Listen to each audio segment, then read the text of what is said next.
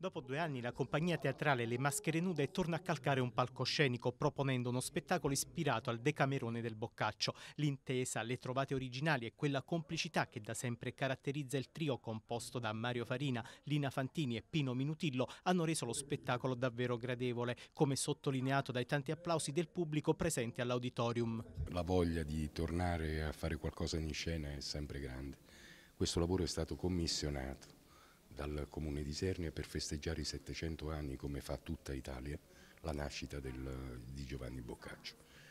Noi abbiamo accettato, dico noi perché Lina e Pino, che sono le colonne e sono sempre state le colonne di questa compagnia, hanno anche loro avuto voglia di tornare in scena e abbiamo provato a mettere su questo lavoro che per quanto qualcuno ha, detto che è di nicchia e forse lo è, noi abbiamo fatto in maniera da renderlo fruibile come al solito perché intendiamo l'arte quando arriva a tutti, quando il pubblico è un pubblico eterogeneo e può capire di tutto.